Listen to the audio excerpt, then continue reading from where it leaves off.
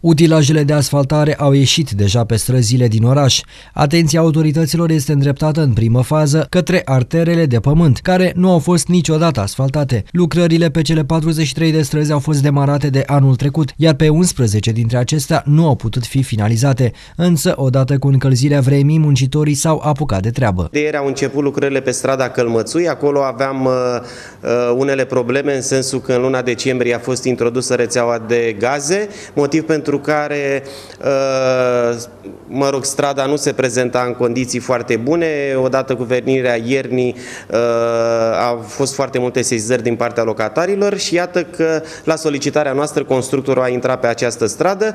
Vor continua în perioada imediat următoare și uh, lucrările pe celelalte străzi până la jumătatea verii, spunem noi, în funcție de graficul de lucrări, toate aceste 11 străzi să fie finalizate. Covorul asfaltic al acestor străzi are o garanție de 5 ani. Aceasta înseamnă că atunci când, spre exemplu, primăvara apar gropi, societatea care a executat asfaltările are obligația de a remedia problemele. În paralel cu lucrările de pe străzile de pământ, se fac pregătiri pentru a demara asfaltarea și pe alte artere din municipiu. Lista de priorități cuprinde străzi pline de gropi, care nu au mai fost asfaltate de foarte mulți ani ani. Încercăm să uh, creăm un culoar de tranzit al orașului Buzău cu străzi uh, nou asfaltate. Este vorba de uh, zona comercială, de la rondul din zona comercială, strada Orizontului, Constituției, continuând apoi cu Oltului spre Micro 14, pentru că din